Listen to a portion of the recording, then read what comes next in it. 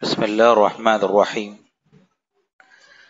الحمد لله رب العالمين والصلاة والسلام على أشرف الأنبياء وإمام المرسلين نبينا محمد وعلى آله وصحبه ومن سن بسنته إلى يوم الدين أما بعد.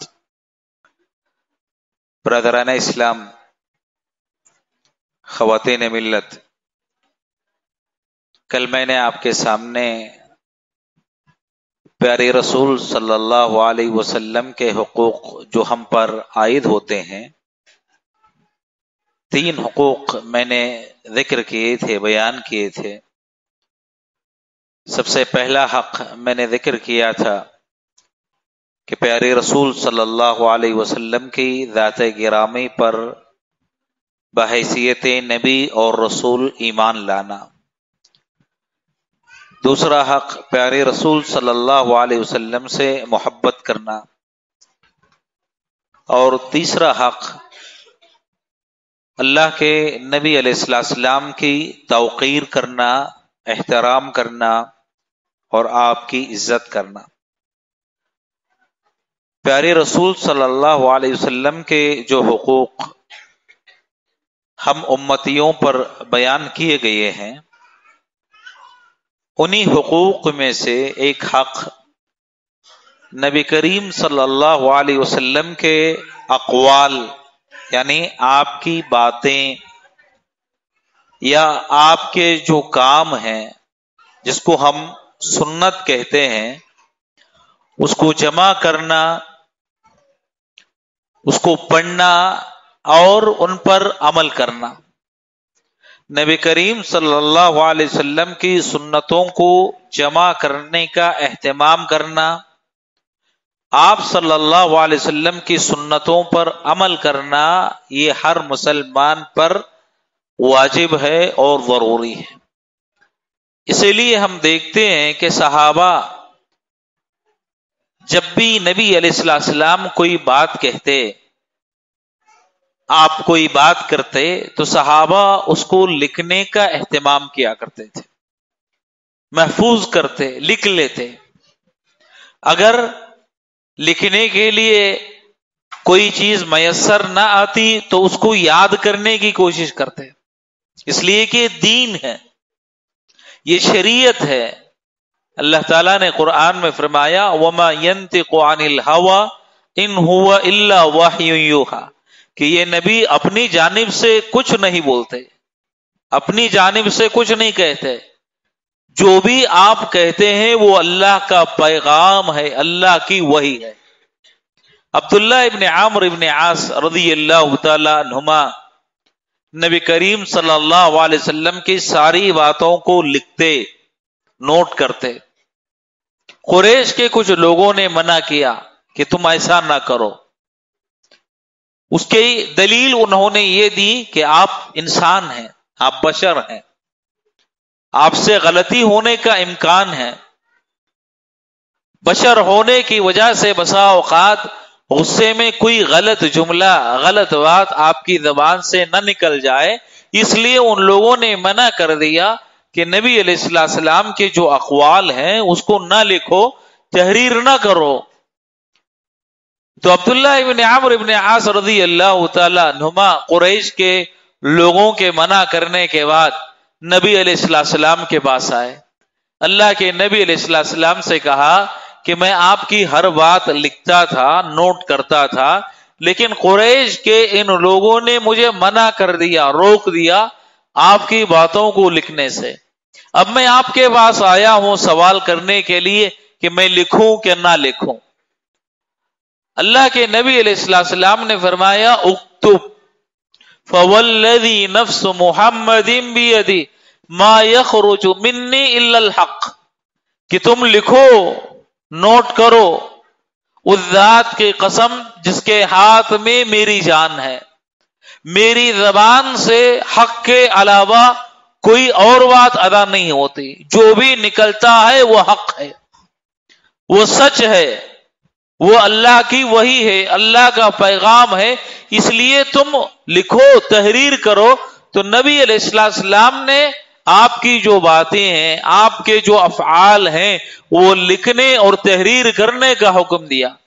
ابو حریرہ رضی اللہ تعالیٰ جن سے سب سے زیادہ حدیثیں مروی ہیں، پانچ ہزار سے زیادہ حدیثیں روایت کرنے والے یہ صحابی نبی علیہ السلام کے ساتھ صرف تین سال رہے۔ صرف تین سال۔ تین سال کے عرصے میں پانچ ہزار سے زیادہ حدیثیں یاد کی۔ کیسے؟ کھانا پینا چھوڑ دیا، اس کی فکر نہیں۔ ساری چیزیں چھوڑ کر نبی علیہ السلام کے ساتھ ہمیشہ لگے رہتے، آپ کی باتیں دیکھتے، اس کو یاد کرتے، اس کو سیکھتے۔ اللہ کے نبی علیہ السلام کی ملازمت اتنی اختیار کی، وہ خود فرماتے ہیں، وہ خود کہتے ہیں کن تو الزم رسول اللہ صلی اللہ علیہ وسلم مل بطنی باوجود میں بھوکا ہونے کے، میرے پاس کوئی کھانے کے لیے چیز نہیں، بھوکا، پیاسا، اس کے باوجود میں ہمیشہ آپ کے ساتھ رہتا۔ نبی علیہ السلام کی صحبت میں اختیار کرتا۔ کیوں؟ صرف حدیثیں سیکھنے کے لیے، حدیثیں یاد کرنے کے لیے، سنتیں معلوم کرنے کے لیے کہ کوئی ایک سنت معلوم ہو جائے۔ اور خود نبی علیہ السلام کو اس کا احساس تھا کہ ابو حریرہ رضی اللہ تعالیٰ حدیثیں سیکھنے کے بڑی شوقین ہیں۔ بڑی ہرس ہے ان کے پاس۔ بڑی تڑپ ہے حدیثیں اور سنتیں یاد کرنے کے لیے۔ ایک مرتبہ سوال کیا نبی علیہ السلام سے۔ من اسعد الناس بشفاعتك يوم القیامت یا رسول اللہ؟ کہ اللہ کے نبی قیامت کے دن آپ کی شفاعت کس کو ملے گی؟ آپ کی سفارش کا سب سے زیادہ حقدار کون انسان ہے؟ تو نبی علیہ السلام نے جواب دینے سے پہلے ایک جملہ فرمایا، ابو حریرہ رضی اللہ تعالیٰ عنہ کے تعلق سے۔ جملہ کیا تھا؟ اللہ کے نبی علیہ السلام نے فرمایا کہ لقد ظننت، مجھے معلوم تھا، مجھے پتا تھا کہ یہ سوال صحابہ میں سے تم سے پہلے کوئی اور نہیں کرے گا۔ تم سے پہلے کوئی اور نہیں پوچھے گا۔ کیوں؟ اس لیے کہ میں تم میں حدیثیں سیکھنے کی، سنتیں معلوم کرنے کی تڑپ دیکھتا ہوں۔ شوق دیکھتا ہوں، جذبہ دیکھتا ہوں۔ اسی لیے مجھے پتا تھا کہ یہ سوال تم سے پہلے مجھ سے کوئی اور نہیں کرے گا۔ واقعی تم نے سب سے پہلے مجھ سے یہ سوال کیا ہے۔ اس کے بعد نبی علیہ السلام نے جواب دیا، کہا کہ اسعد الناس بشفاعتی من قال لا الہ الا اللہ یبتغی بذالک وجہ اللہ۔ میری شفاعت قیامت کے دن اس آدمی کو ملے گی، اس انسان کو نصیب ہوگی جو اخلاص کے ساتھ لا الہ الا اللہ کی گواہی دیتا ہے۔ خلوص سے، اخلاص سے کوئی لا الہ الا اللہ کی گواہی دے دے تو میری شفاعت کل قیامت کے دن اسی انسان کو ملے گی۔ ابو حریرہ رضی اللہ تعالیٰ بسا اوقات راستے میں چلتے ہوئے بے ہوش گر جاتے بے ہوش، بھوکے، پیاسے، اتنے کھانے کے لیے کچھ نہیں، بھوک کی شدت سے بے ہوش ہو جاتے ایک مرتبہ وہ فرماتے ہیں، اتنی بھوک لگی مجھے، اتنی بھوک لگی کہ میں گھر میں صبر نہیں کر سکا۔ گھر کے باہر نکل گیا۔ یہ سوچتے ہوئے کہ شاید راستے میں کوئی گزرے گا میری حالت دیکھے گا، مجھ پر طرز کھائے گا اور کچھ کھلا دے گا۔ کچھ پلا دے گا، یہ سوچ کر راستے میں آ گئے۔ ابو بکر صدیق رضی اللہ تعالیٰ نو کا گزر ہوا، لیکن ابو بکر صدیق رضی اللہ تعالیٰ کوئی توجہ نہیں دیے۔ سلام کیا، سلام کا جواب دیے۔ آگے بڑھ جاتے ہیں۔ تو ابو بکر صدیق رضی اللہ تعالیٰ نو کو اپنی جانب متوجہ کرنے کے لیے، اپنی حالت بتانے کے لیے کہ میں بھوکا ہوں۔ میں پیسہ ہوں اور بھوک کی شدت سے گھر میں بیٹھ نہ سکا۔ یہ بتانے کے لیے ان کو اپنی جانب متوجہ کرنے کے لیے ایک سوال کرتے ہیں۔ حالانکہ سوال کا جواب پتا ہے ان کو، معلوم ہے۔ سوال مقصد نہیں۔ جواب معلوم کرنا ان کا مقصد نہیں، مطلوب نہیں۔ بلکہ مقصد یہ ہے کہ جو بھوک ہے وہ بتا سکے کہ میں کتنا بھوکا ہوں۔ شاید ابو بکر میری حالت کو سمجھ جائیں اور مجھے اپنے گھر لے جا کر کچھ کھلا دیں۔ ابو بکر صدیق رضی اللہ تعالیٰ عنہ سے سوال کیا۔ ابو بکر صدیق رضی اللہ تعالیٰ حقیقی مقصد ان کا سمجھ نہیں سکے۔ سوال کا جواب دے دیے، آگے بڑھ گئے۔ پھر عمر فاروق رضی اللہ تعالیٰ عنہ کا ادھر سے گزر ہوتا ہے۔ گزرے تو وہی سوال عمر سے بھی کیا۔ مقصد سوال نہیں، مقصد اپنی حالت بتانا ہے کہ کتنا میں بھوکا ہوں، کتنا پیسہ ہوں۔ عمر فاروق رضی اللہ تعالیٰ نو سے سوال کیا تو عمر رضی اللہ عنہ سوال کا جواب دیے اور آگے بڑھ گئے۔ مقصد سمجھ نہیں پائے۔ اتنے میں پیارے رسول صلی اللہ علیہ وسلم کا گزر ہوتا ہے وہاں سے۔ اللہ کے نبی علیہ السلام سے بھی وہی سوال کیا۔ نبی علیہ السلام سوال کا جواب دینے سے پہلے آپ مسکرائے۔ اور فرمایا کہ ابو ہو میرے پیچھے آؤ۔ مقصد سمجھ گئے تھے کہ سوال کرنے کا مقصد کیا ہے۔ کیوں پوچھ رہے ہیں؟ اللہ کے نبی نے کہا کہ ابو ریرا میرے ساتھ آؤ۔ اپنے ساتھ لیتے ہیں۔ گھر میں داخل ہوتے ہیں۔ امہات المومنین سے سوال کرتے ہیں کہ گھر میں کھانے کے لیے کچھ ہے۔ پینے کے لیے کوئی چیز ہے؟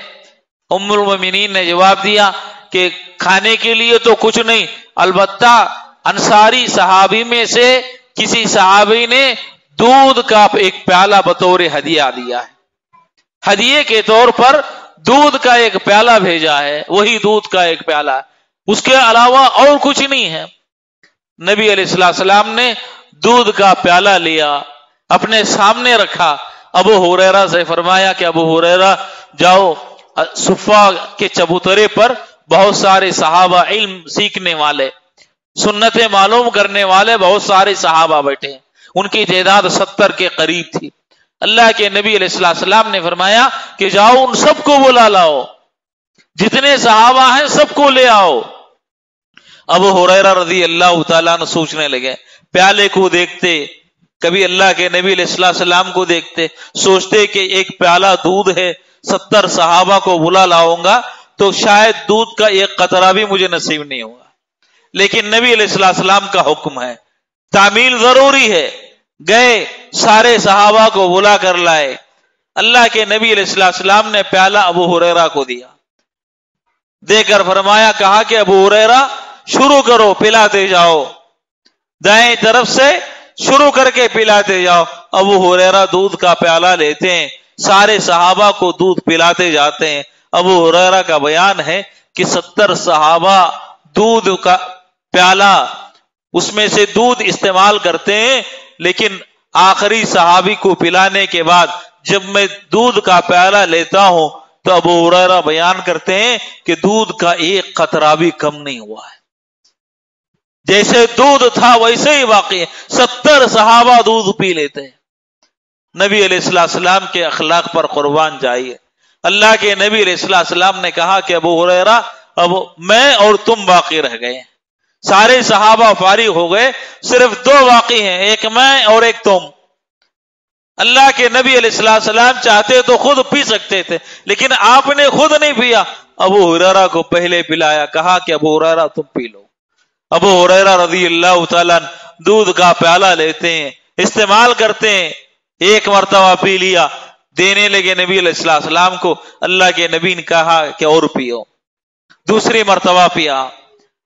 سیراب ہو کر پیا، دودھ واپس کرنے لگے۔ نبی نے پھر فرمایا کہ اور پیو۔ نبی علیہ السلام کے ارشاد کرنے پر تیسری مرتبہ پیا، واپس کرتے ہیں۔ نبی علیہ السلام نے پھر فرمایا کہ ابو ہریرا اور پیو۔ نبی علیہ السلام سے ابو ہریرا کہتے ہیں کہ اللہ کے نبی اب پیٹ میں دودھ کے لیے کوئی گنجائش نہیں۔ سیر ہو کر پی چکا ہوں۔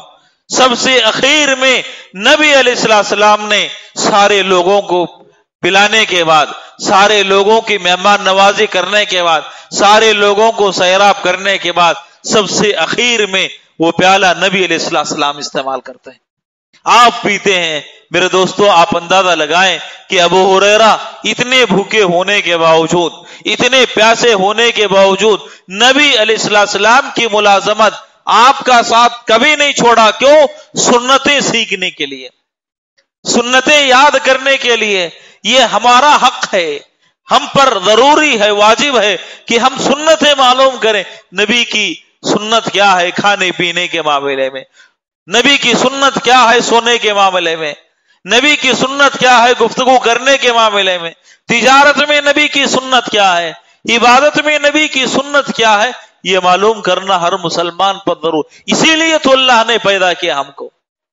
یہی غرض غایت ہے پیدا کرنے کا، پیدا کیے جانے کا مقصد ہی یہ ہے۔ اللہ کے نبی علیہ السلام سے ایک مرتبہ وہ نے کہا کہ یا رسول اللہ، حدیثیں سنتا ہوں، سنتیں سنتا ہوں، لیکن بھول جاتا ہوں۔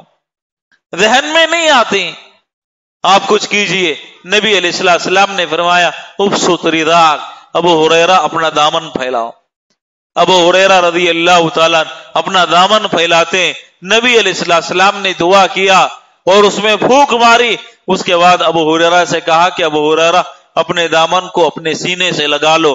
ابو حریرا رضی اللہ تعالیٰ نبی علیہ السلام کے دعا کے بعد اپنے دامن کو اپنے سینے سے لگاتے ہیں۔ ان کا بیان ہے، وہ فرماتے ہیں، فما نسی تشئی امبادا اس دعا کے بعد نبی علیہ السلام کی جو بھی حدیث میں سنتا وہ یاد رہ جاتی کبھی کوئی جملہ اللہ کے نبی علیہ السلام کا میں بھولا نہیں میرے ذہن سے محو نہیں ہوا میرے ذہن سے گم نہیں ہوا جو بھی میں سنتا یاد ہو جاتی میرے دوستو نبی علیہ السلام کی سنتیں سیکھنا سنتیں معلوم کرنا سنتوں پر عمل کرنے کی کوشش کرنا چھوٹی چھوٹی سنتیں معمولی سنتیں انسان اپنی ضرورت پوری کرتا ہے کھانا پینا انسان کی اپنی ضرورت ہے۔ لیکن کھانا ادب کے ساتھ کھاتا ہے، سنت کے مطابق کھاتا ہے، اپنی ضرورت پوری کرنے پر اللہ اجر دے گا۔ اللہ ثواب دے گا۔ بسم اللہ کہتا ہے، ثواب ملے گا۔ برتن میں کنارے سے کھاتا ہے، ثواب ملے گا۔ برتن صاف کرتا ہے، ثواب ملے گا۔ انگلیاں صاف کرتا ہے، ثواب ملے گا۔ کھانے کے بعد کی دعا پڑتا ہے، ثواب ملے گا۔ کھانا کھانے پر کتنا ثواب، کتنا اجر، کھانے سے پہلے بھی ثواب، کھانے کے دوران بھی ثواب، کھانے سے فارغ ہو جاتا ہے تب بھی ثواب۔ انسان، اس کی سونا، اس کی ضرورت ہے۔ نہ سوئے انسان تو اس کا جسم، اس کا ذہن صحیح سالم نہیں رہے گا۔ اس کی اپنی ضرورت ہے، لیکن سنت کے مطابق سوتا ہے۔ دائیں کروٹ لیٹتا ہے، اللہ ثواب دے گا۔ دعا پڑتا ہے سونے سے پہلے، اللہ ثواب دے گا۔ درمیان میں بیدار ہوتا ہے، جو ذکر نبی علیہ السلام نے بیان کیا، اس کا اہتمام کرتا ہے، ثواب ملے گا۔ حتیٰ کہ کوئی انسان اپنی بیوی سے اپنی شہوت پوری کرتا ہے، اللہ ثواب دے گا۔ سبحان اللہ۔ کتنا ہمارا رب روب ہے، رحیم ہے کہ انسان کی اپنی ضرورتیں، اپنی حاجتیں اگر وہ بھی سنت کے مطابق پوری کرتا ہے تو اللہ تعالیٰ ہر چیز میں اجر لکھ دیا ہے، ہر چیز میں ثواب لکھ دیا ہے۔ بیت الخلاء میں انسان داخل ہوتا ہے، داخل ہونے سے پہلے دعا کا اہتمام کر لے، اجر ہے۔ نکلتا ہے، ذکر کا اہتمام کر لے، ثواب ہر چیز پر اللہ ثواب دیتا ہے۔ یہ کب ہوگا؟ جب ہم نبی علیہ السلام کی سنتیں معلوم کریں گے، آپ کا طریقہ سیکھیں گے، آپ کے طریقے کے مطابق زندگی گزاریں گے، تو اللہ تعالی ہمارے ہر کام پر، ہر عمل پر اور ہر عبادت پر اللہ تعالی ثواب عطا کرے گا۔ بلکہ کسی کا سونا عبادت ہے، کسی کا کھانا عبادت ہے، کسی کا چلنا عبادت ہے۔ کب جب انسان نبی علیہ السلام پر سنت پر عمل کرنے کا ارادہ کر کے سوتا ہے، تقویت چاہتا ہے، ابو مسا شری رضی اللہ تعالیٰ نے فرمایا کرتے تھے احتسب فی نومتی کما احتسب فی قومتی، جب میں سوتا ہوں، ثواب کی نیت لکھ کر سوتا ہوں۔ ثواب کی اللہ سے میں امید رکھتا ہوں۔ کیسے؟ جیسے نماز پڑھتے ہوئے میں ثواب کی امید رکھتا ہوں، ویسے ہی سوتے ہوئے ثواب کی امید رکھتا ہوں۔ کیوں؟ میری نیت یہ ہوتی ہے کہ سنت کے مطابق میں سوؤں گا۔ آرام ملے گا، چین ملے گا، راحت ملے گی۔ اس کے بعد نشات کے ساتھ رب کی عبادت کے لیے کھڑے ہو جاؤں گا۔ تو رب کی عبادت کے لیے ایک تو نشات ہے اور سنت کے مطابق میرا سونا ہے۔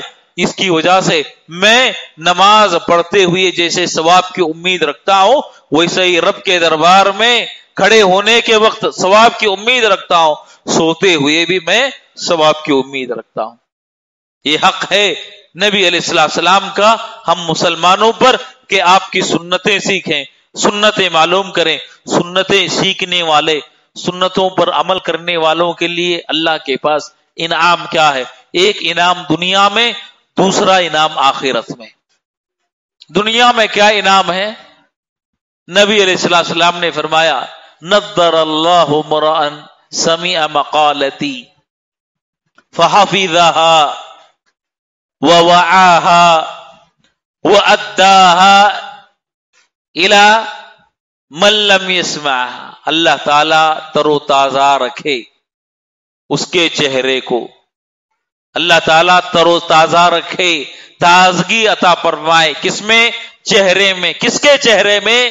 نبی علیہ السلام نے فرمایا، جو میری بات سنتا ہے، میری حدیث میری سنت سنتا ہے، میری حدیث میری سنت سننے کے بعد اس کو یاد کرتا ہے۔ یاد کرتا ہے، سمجھتا ہے اور دوسروں تک اس کو پہنچاتا ہے۔ اللہ تعالی دنیا میں اس کے چہرے کو تر و تازہ رکھے۔ نبی علیہ السلام نے دعا فرما دیا۔ سفیان ابن وینا رحمہ اللہ فرماتے ہیں، جتنے بھی حدیثیں یاد کرنے والے، حدیثوں پر عمل کرنے والے لوگ ہیں، ان کے چہروں پر تم تازگی دیکھو گے۔ ان کے چہرے تازہ ملیں گے۔ تازگی نظر آئے گی، روشنی، ایک نور نظر آئے گا تمہیں۔ آخرت سے پہلے دنیا میں روشنی، دنیا میں تازگی، کس پر؟ چہروں پر۔ کس کے چہرے؟ جو حدیثیں سیکھنے والے ہیں۔ حدیثوں پر عمل کرنے والے ہیں، ان کے چہروں پر۔ اور آخرت میں کیا انعام ہے؟ اللہ تعالیٰ نے قرآن مجید میں ارشاد فرما یوم ندعو کل اناسم بامامہم۔ قیامت کے دن ہم ہر آدمی کو اس کے امام کے ساتھ بلائیں گے۔ ہر آدمی کو جس کو وہ امام مانتا تھا، امام تسلیم کرتا تھا، اس کے ساتھ اللہ تعالیٰ قیامت کے دن بلائے گا۔ امام ابن کثیر رحمہ اللہ نے اس آیت کو ذکر کرنے کے بعد اس کی تفسیر کرتے ہوئے کہا وہی مفخارتن لأہل الحدیث حدیث پر عمل کرنے والوں کے لیے بڑی فخر کی بات ہے۔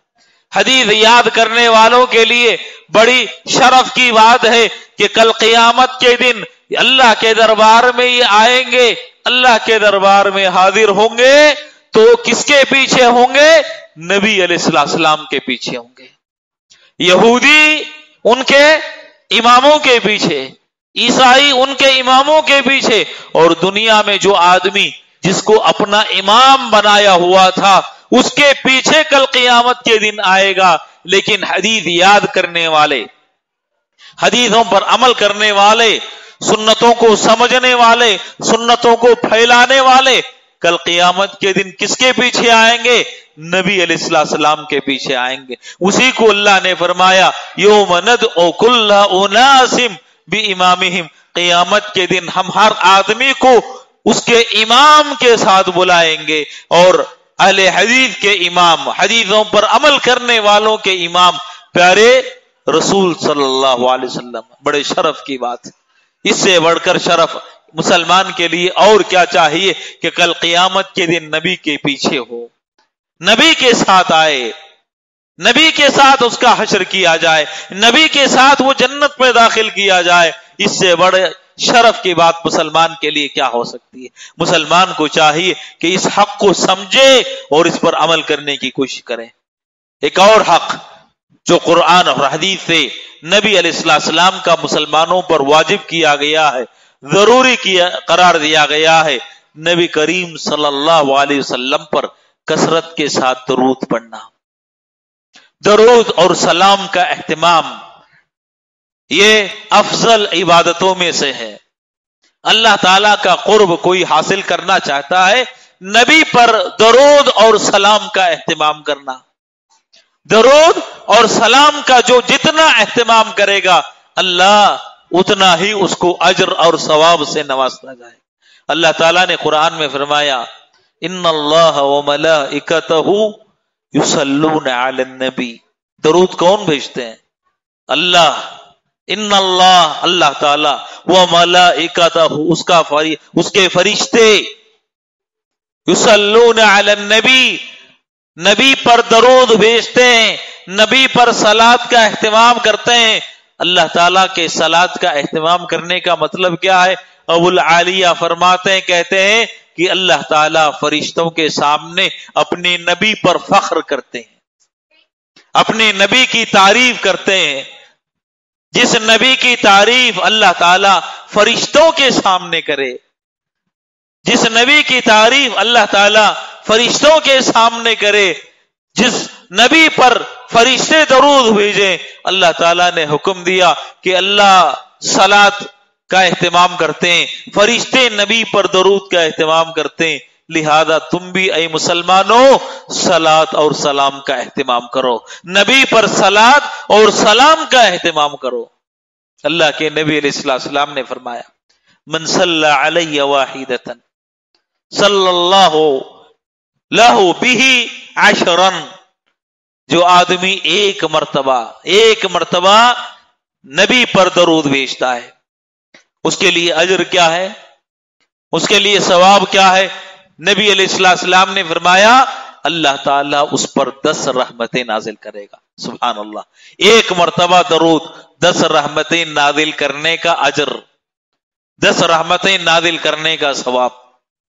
اور ایک اور روایت میں اللہ کے نبی نے فرمایا کہ ایک مرتبہ کوئی مجھ پر درود بھیجتا ہے۔ ایک مرتبہ کوئی مجھ پر درود بھیجتا ہے۔ اللہ اس کے لیے دس نیکیاں لکھتا ہے۔ دس رحمتیں نادل ہوں گی۔ دس نیکیاں اس کے لیے لکھی جائیں گی اور نبی پر درود بھیجنے والے ان کے لیے بشارت ہے۔ کل قیامت کے دن سارے لوگ شفاعت کے محتاج ہوں گے، سفارش کے محتاج ہوں گے۔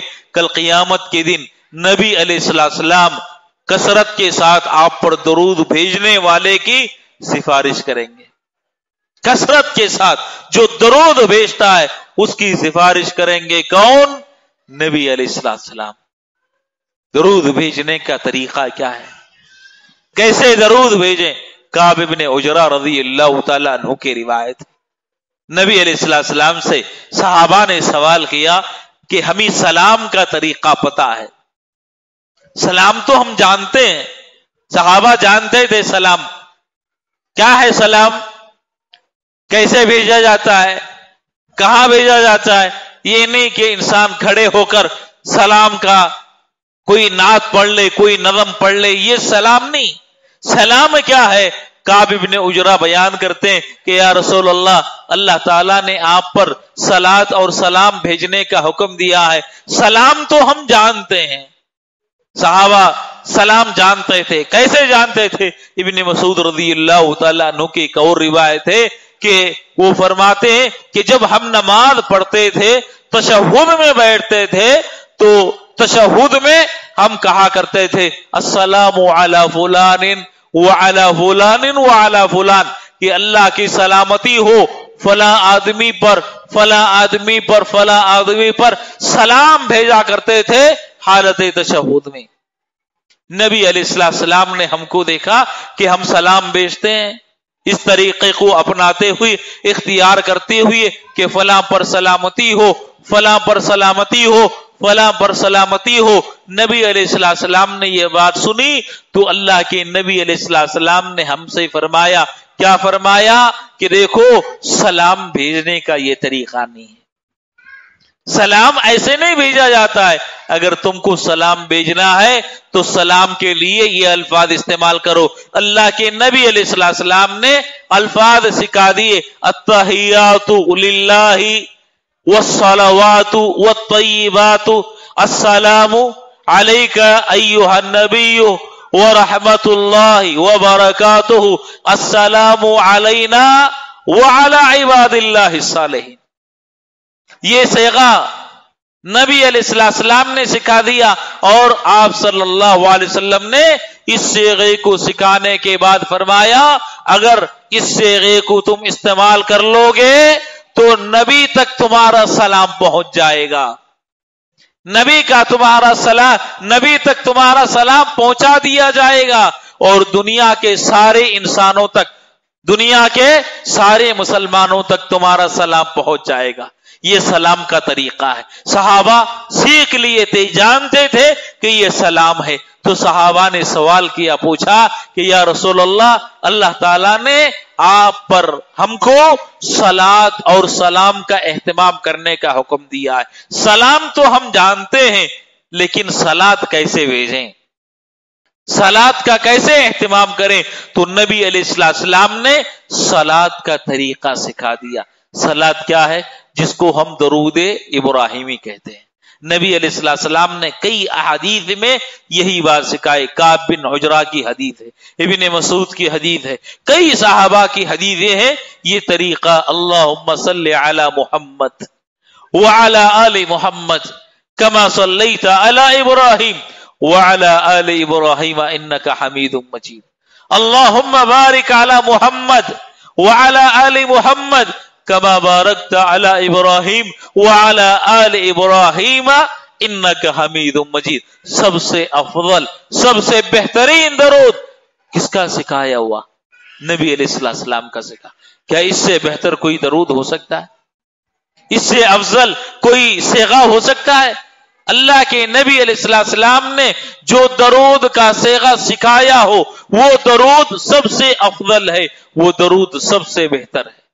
اگر مسلمان بسا اوقات مصروف ہونے کی وجہ سے، مشغول ہونے کی وجہ سے وقت اس کے پاس نہیں ہوتا، تو وہ چاہتا ہے کہ مختصر درود بھیجے۔ مختصر درود بھی نبی علیہ السلام نے سکھا دیا۔ مختصر درود کیا ہے؟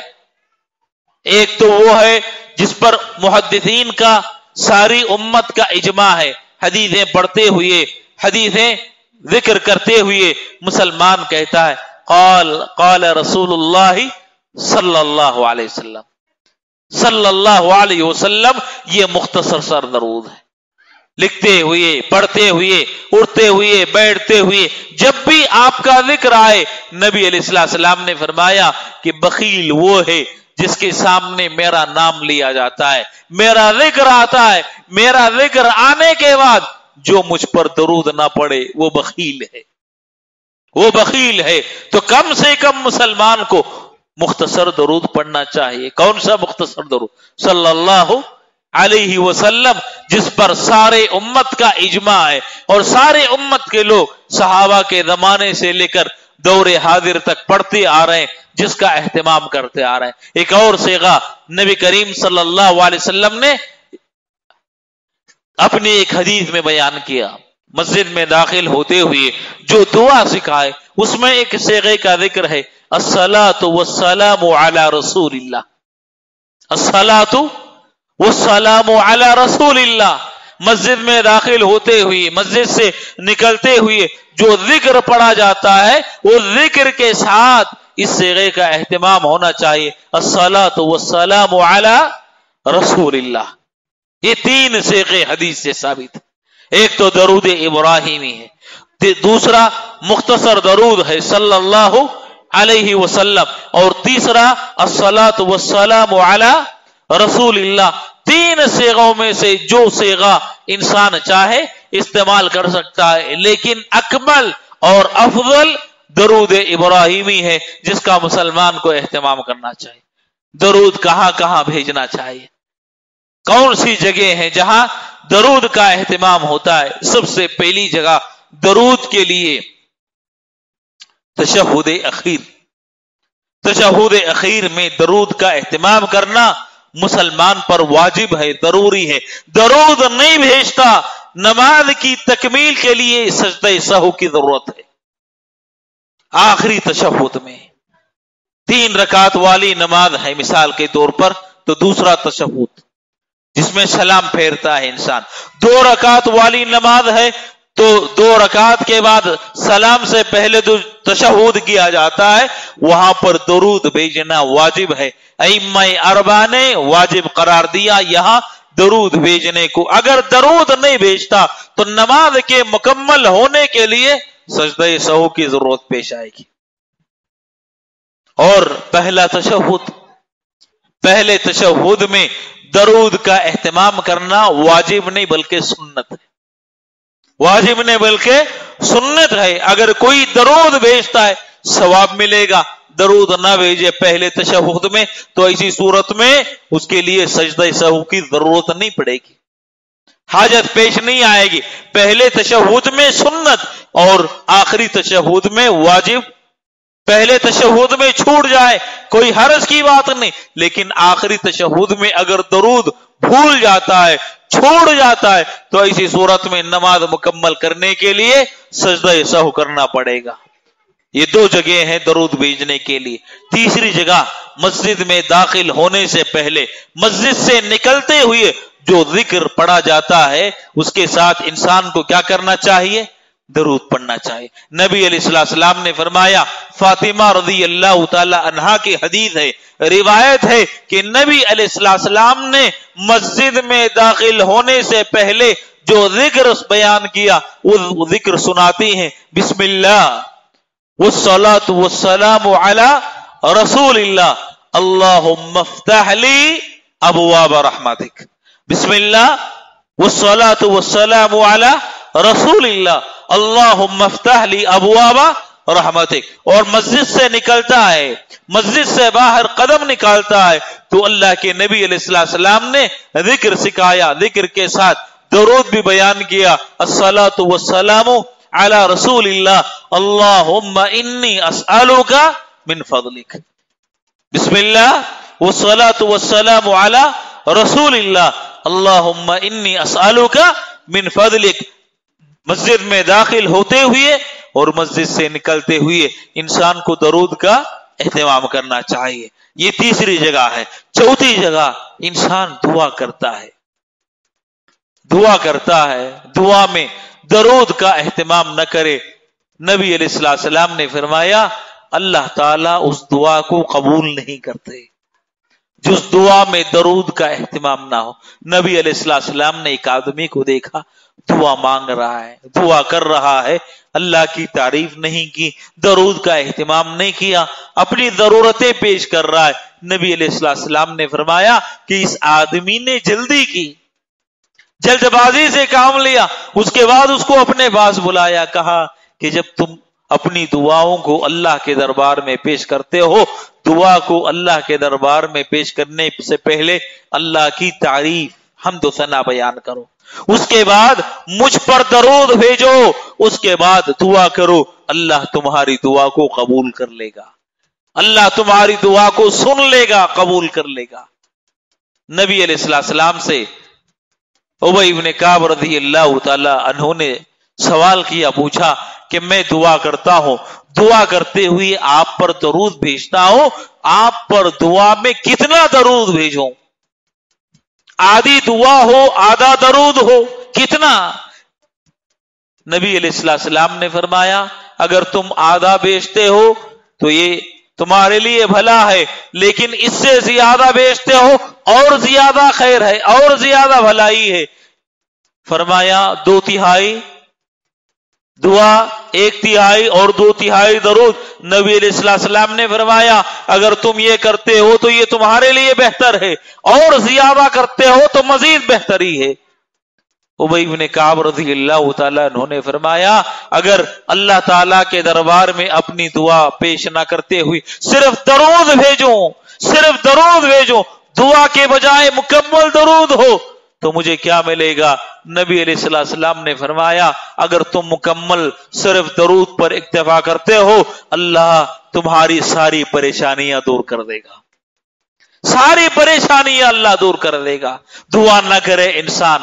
اللہ کو پتا ہے کہ کیا مانگنا چاہتا ہے۔ اللہ کو پتا ہے کون سی پریشانی ہے، کون سی مجبوری ہے۔ اپنی مجبوری، اپنی پریشانی پیش نہ کرتے ہوئے صرف درود پر اکتفا کرے۔ اللہ درود کے اجر کے ساتھ ساتھ ساری پریشانیاں اس کی دور کر دے گا۔ ساری حاجتیں، ساری ضرورتیں اس کی پوری ہو جائیں گے، مکمل ہو جائیں گے۔ دعا کرتے ہوئے انسان کو درود کا اہتمام کرنا چاہیے۔ انسان اذان کے کلمات سنتا ہے۔ اذان کے کلمات سنتا ہے۔ اذان کے کلمات کے ساتھ جواب بھی دینا چاہیے۔ جواب کیسے ہو؟ جو مؤذن کے کلمات ہیں، وہی کلمات دوہرائے وہی کلمات دوہرائے جواب دے۔ جواب کے بعد نبی علیہ السلام نے فرمایا کہ درود جو پڑھتا ہے، کس کے بعد؟ اذان کے بعد۔ اذان کے بعد درود پڑھے۔ اس کے بعد اذان کی جو دعا ہے، وہ پڑھے۔ درود پڑھے، اذان کی جو دعا ہے، اس کا اہتمام کرے۔ جو آدمی یہ کر لے، اس کے لیے نبی علیہ السلام نے فرمایا، حلت لہو شفاعتی یوم القیامہ، کل قیامت کے دن میری سفارش اس کے لیے حلال ہو جائے گی۔ میری سفارش اس مسلمان کو مل جائے گی جو اذان کے کلمات کا جواب دیتا ہے۔ اور اذان کے بعد درود کا اہتمام کرتا ہے۔ درود کے بعد، اذان کے بعد کی دعا پڑھتا ہے۔ تو نبی علیہ السلام نے فرمایا، حلت لہو شفاعتی یوم القیامہ۔ کل قیامت کے دن اس کے لیے میری شفاعت حلال ہو جائے گی۔ میری شفاعت نصیب ہوگی۔ اسی طریقے سے صبح اور شام درود کا اہتمام کرنا۔ نبی علیہ السلام نے فرمایا، جو آدمی صبح میں دس مرتبہ، صبح میں دس مرتبہ، شام میں دس مرتبہ درود کا اہتمام کرتا ہے۔ صبح میں دس مرتبہ درود پڑھ لیا، شام میں دس مرتبہ درود کا اہتمام کر لیا۔ نبی علیہ السلام نے فرمایا، کل قیامت کے دن میں اس کے لیے سفارش کروں گا۔ صبح میں دس مرتبہ، شام میں دس مرتبہ۔ صبح میں کب؟ سورج نکلنے سے پہلے، فجر کی نماز کے بعد سے لے کر سورج طلوع ہونے سے پہلے، شام میں اثر کے بعد سے لے کر سورج غروب ہونے سے پہلے۔ صبح میں دس مرتبہ، شام میں دس مرتبہ درود کا اہتمام کر لیتا ہے۔